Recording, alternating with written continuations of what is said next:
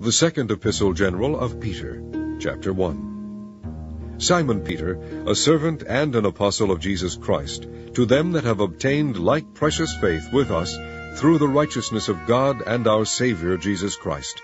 Grace and peace be multiplied unto you through the knowledge of God and of Jesus Christ our Lord, according as his divine power hath given unto us all things that pertain unto life and godliness, through the knowledge of him that hath called us to glory and virtue, whereby are given unto us exceeding great and precious promises, that by these ye might be partakers of the divine nature, having escaped the corruption that is in the world through lust. And beside this, giving all diligence, add to your faith virtue, and to virtue knowledge, and to knowledge temperance, and to temperance patience, and to patience godliness, and to godliness brotherly kindness, and to brotherly kindness charity.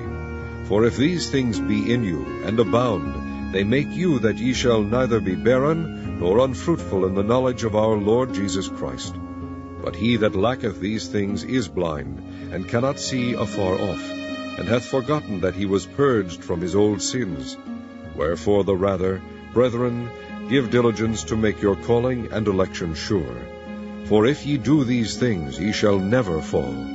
For so an entrance shall be ministered unto you abundantly into the everlasting kingdom of our Lord and Saviour Jesus Christ. Wherefore I will not be negligent to put you always in remembrance of these things, though ye know them, and be established in the present truth.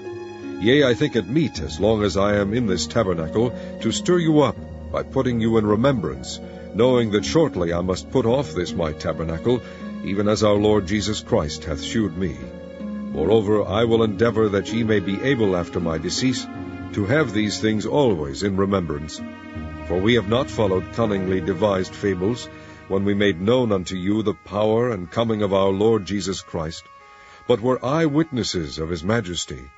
For he received from God the Father honor and glory, when there came such a voice to him from the excellent glory, This is my beloved Son, in whom I am well pleased. And this voice which came from heaven we heard, when we were with him in the holy mount.